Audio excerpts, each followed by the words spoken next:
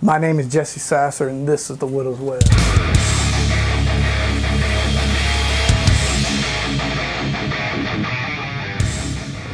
When I first got my 3D printer, I knew what I wanted to do. I just didn't know exactly what direction I wanted to go in. And I was actually inspired whenever I first started searching the internet for 3D guitars and uh, stuff like that. I was actually inspired by a search result. Came across this guitar called the Atom 3D printed guitar. From that point, I knew exactly what I wanted to do. So I went to a local pawn shop and bought the cheapest electric guitar I could find that worked. Um, took everything apart and pulled the dimensions from the body for all the electronics. And uh, it was kind of a it was a Fender style guitar, but I really liked the Les Paul look.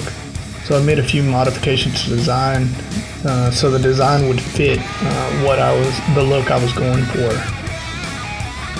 I created the base model using 3D uh, Studio Max and then I applied the Voronoi in MeshLab. I split the design into six different pieces, so each one would print on my Robo 3D R1. I also tried splitting and arranging the pieces so I could print them using uh, little or no support.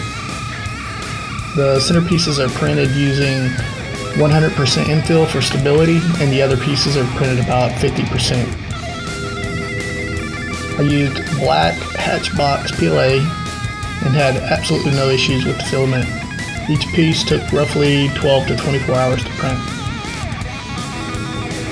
I decided to release all the files so that others might enjoy and possibly expand on it. I'm excited to see what other people come up with. Just want to say thanks to everyone out there on Facebook and other social media that encouraged me to continue this project.